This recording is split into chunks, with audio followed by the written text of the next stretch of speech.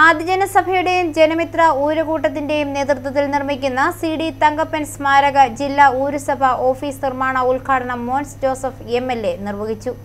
സാമൂഹ്യ സമത്വ സംഗമവും തദ്ദേശീയ കാർഷിക സ്വാശ്രയ സംഘം ഉദ്ഘാടനവും ഇതോടൊപ്പം നടന്നു. പട്ടികജാതി പട്ടികവർഗ വിഭാഗങ്ങൾക്ക് നീതി നിഷേധിക്കപ്പെടുന്നത് ഗൗരവതരമായി കാണണമെന്ന് Mons Joseph M L A ഉദ്ഘാടന പ്രസംഗത്തിൽ പറഞ്ഞു. പട്ടികവർഗ പട്ടികജാതി പട്ടികവർഗ വിഭാഗങ്ങളുമായി ബന്ധപ്പെട്ടുള്ള പ്രശ്നങ്ങളെക്കുറിച്ച് ചർച്ച ചെയ്യുമ്പോഴെല്ലാം.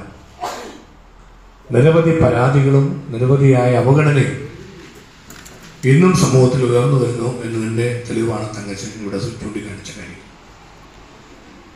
ഗവൺമെന്റ് ലെവലിലായാലും പഞ്ചായത്ത് ലെവൽ തദ്ദേശ സ്വയംഭരണ സ്ഥാപനങ്ങളുടെ ലെവലിലായാലും നീതി നിഷേധിക്കപ്പെടുകയും നീതി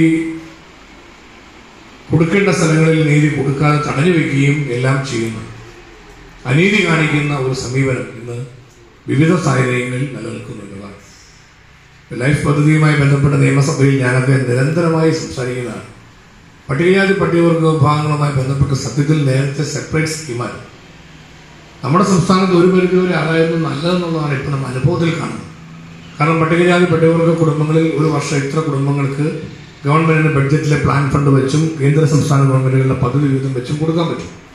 സമ്മേളനത്തിൽ ആദിജനസഭ ജില്ലാ പ്രസിഡന്റ് ടി എം രാജൻ അധ്യക്ഷനായിരുന്നു. സംസ്ഥാന general secretary C J Thankachan നയരേഖാവതരണവും മുഖ്യപ്രഭാഷണവും നടത്തി. സംഘടനാ നേതാക്കളായ V Jeevanand George Aji Chathankunnu Mannar Vijayan S C S T confederation നേതാക്കളായ തിലകമ്മ പ്രേംകുമാർ ഇ എം പ്രീതി ഉഷ തമ്പി തുടങ്ങിയവർ പ്രസംഗിച്ചു.